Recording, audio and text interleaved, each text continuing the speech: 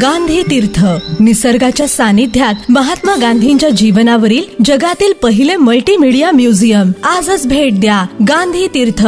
Jain hills Jalgaon. अधिक माहितीसाठी W W W dot Gandhi foundation dot net वर व्हिजिट करा. नवीन नळ कनेक्शनसाठी पैसे भरून सुद्धा नळ मिळत नसल्याने समतानगरातील नागरिकांची पाण्यासाठी वनवन पाणी पुरवठा विभागाचा हलगर्जीपणा महिलांनी केला संताप व्यक्त.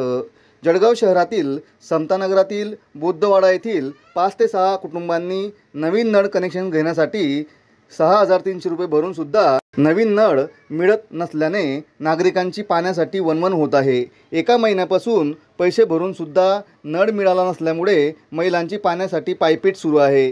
कावेरत्नावली चौकातील पाणी पुरवठा ऑफिसमध्ये तक्रार करून सुद्धा हा पाण्याचा प्रश्न मार्गी लागत नसल्याने येथील महिलांनी आज आक्रमक भूमिका घेत संताप व्यक्त केला. यावेळी वंदनाबाई झनके मीनाबाई झनके आरती नन्नवरे नबाबाई सुरवाडे शायाबाई तांबे दीपाली पानपाटील यांच्यासह महिला उपस्थित होत्या.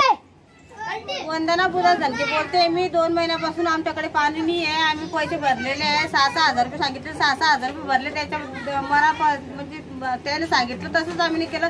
सहा सहा हजार रुपये भरले आम्ही पण त्याने नळ कनेक्शन आम्हाला काही दिलं नाही आहे आणि त्याला सांगतो आम्ही नळ कनेक्शन नको द्या आम्हाला पण आमचं जुनं पाणी सोडून द्या तुम्ही. पण ते पण ते नाही म्हणताय.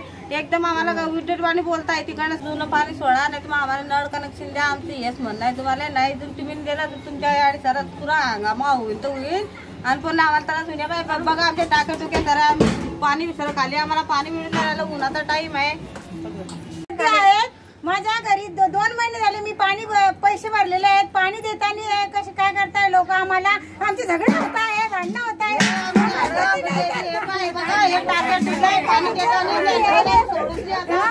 आमच्याकडे कोणी लक्ष देता नाहीये कस काय करवा आम्ही समतानगरमध्ये राहून? पैसे भरलेले आहे दोन महिने झालेले आहे सहा हजार रुपये कबाड कष्ट करून करून आम्ही जमा करून करून पैसे भरलेले. जय भीम.